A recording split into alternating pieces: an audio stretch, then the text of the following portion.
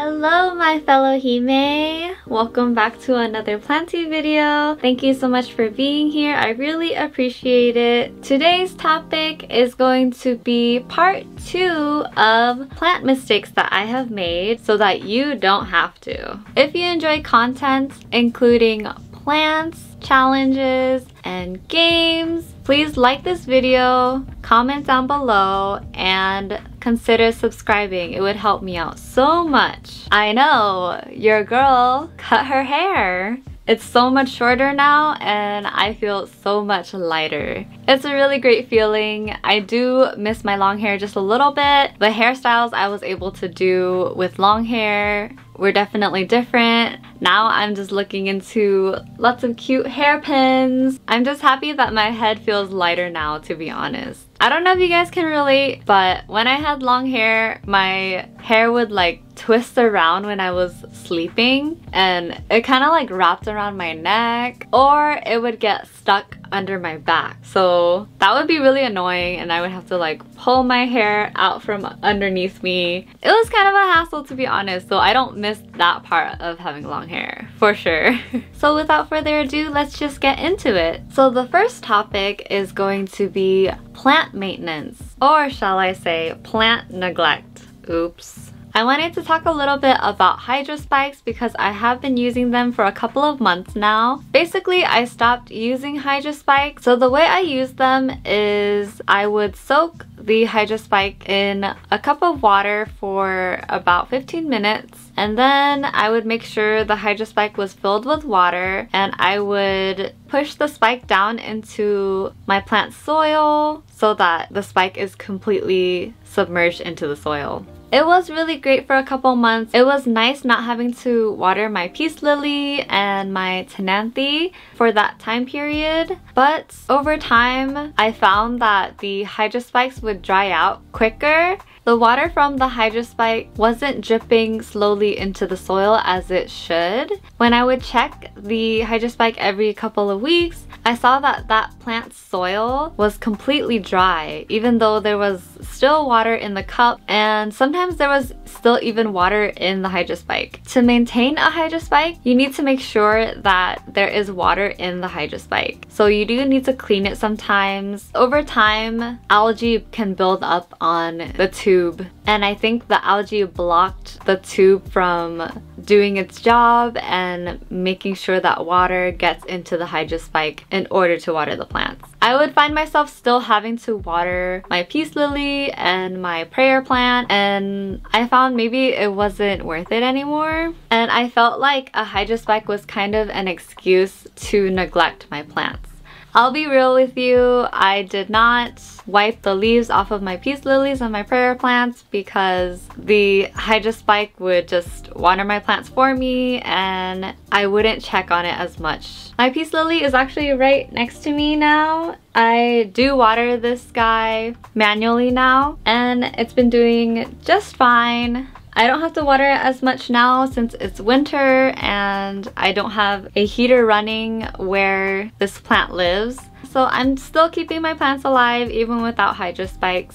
Another thing about plant maintenance is, of course, watering your plants, making sure that they have some H2O for their roots to soak up. My issue with watering sometimes is watering plants from the top. Over time, my plant's getting waterlogged I still top water a lot, but we really have to keep in mind that soil may get compacted over time and we need to maintain soil aeration, whether we stick a chopstick in and mix the soil up or pouring a hydrogen peroxide mix into the soil to aerate it. And I know a lot of people also bottom water to prevent waterlogging or soil compaction. Another part of this plant maintenance is repotting. I would of course have a bigger pot for the plant to be able to grow into. I would put down a little mesh to cover the hole at the bottom, but you don't really need to, to be honest. But maybe it does help catch some of the soil at the bottom. I would put a little bit of soil down at the bottom of the pot. Then I would put the plant in, of course with all the roots and like some of the soil and whatnot. Then my mistake would be to fill the pot to the brim with soil and I didn't leave any space for water spillage. I didn't leave a gap on the top between the soil and the top of the pot. And the problem with that is when you water your plants from the top, it takes time for the water to soak into the soil and when you put a little too much water it will spill over the side of the pot funny because I even watched a video telling me not to fill my pot to the brim with soil. But I still did it because I was afraid that my plant wasn't going to get enough light if it was lower down the pot. But trust me you guys, it will save you so much spillage in the future if you just leave a gap between the top of the soil and the top of the pot. So the second topic is going to be about prop boxes. As I mentioned in a previous video, I did keep some prop boxes outdoors. It was not really a good idea. I did have a few successful prop boxes outside that I completely forgot about. They're doing totally fine and have huge roots, but the problem with having prop boxes outside is that you can't control the sunlight as much. And depending on the season, the sun may be too bright, especially for houseplants and indoor plants that don't love direct sunlight. Another mistake that I made was not keeping my prop boxes humid enough. Especially when they were outside, I could not keep up with watering the moss that was in my prop boxes. And in some of the boxes, I forgot to put a cup of water inside it to help maintain the humidity inside. So it wasn't even getting the benefits of humidity and then the leaves were getting burned and all of that. I also have had issues with my prop boxes being too humid and they started getting mold like the kind of mold that's like fuzzy and white and that was not good either I had to take the lids off and make sure they were getting enough ventilation so it can go either way your plants can get too dry, too much sun, or they can get too much moisture and too much humidity. And I've actually had a problem with there being too much water at the bottom of the prop box, but this wasn't my mistake. I had my dad take care of my prop boxes at some point for a couple of weeks, but he overwatered it and there was way too much moisture in there. Luckily, I came back in time to replace the moss that was in there. I kept all of those plants alive. Thank goodness. That's the hard part about letting other people take care of your plants for you. You don't know if they're going to overwater your plants or neglect them. Yeah, you just don't know what's gonna happen with your plant babies. But that's something I guess you have to risk if you are traveling or you are gone and you can't be home for some reason. Just make sure you give them detailed instructions on how to take care of them, maybe demo it for them, maybe have them practice with your plants once or twice. That might help them get a better feel for when to water a plant and all that good stuff. I'm definitely still experimenting with different prop boxes. I'm trying out perlite. I have tried pumice and cocoa coir and cocoa chips. And yeah, definitely still experimenting with them. Currently, most of my prop boxes have moss in them, but who knows, that might change. But yeah, I'm definitely having fun with prop boxes and I recommend you trying to make your own. The next topic I want to discuss are succulents.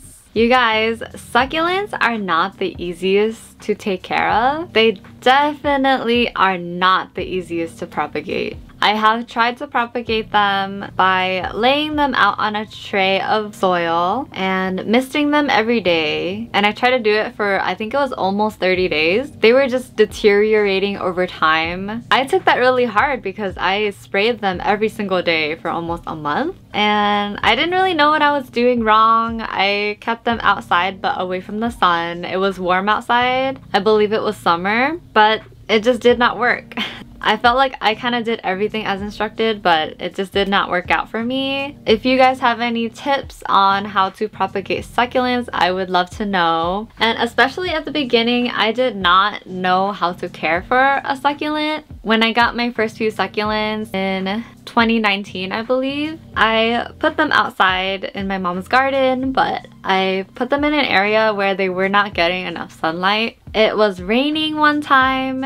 They just got so soaking wet and for some reason I had them on a saucer outside. The rainwater would just get stuck in the saucer. A saucer isn't really necessary for outdoor plants because you can just let the water drain down into the cement. That was not the best move putting a saucer underneath the succulent. But the plants ended up being okay. They survived. I moved them to a sunnier spot. They're actually in my succulent arrangements now. For a couple of my succulents, I actually was using the wrong type of soil as well. I don't know why, but I used just regular potting soil with a lot of amendments, which I thought would be okay because it's airy and it's chunky. One example being the Senecio Macroglossus variegata. I put that in regular potting soil with lots of pumice but it was not happy and the edges started browning. And once I put it into cactus and succulent soil with some cocoa coir and cocoa chips it was so much happier. And you may have seen in my favorite houseplants video that the Senecio macroglossus variegata is actually in that one. And it was vining up the trellis and it was so beautiful. At that point the plant was in cactus and succulent soil. And I'm so happy that I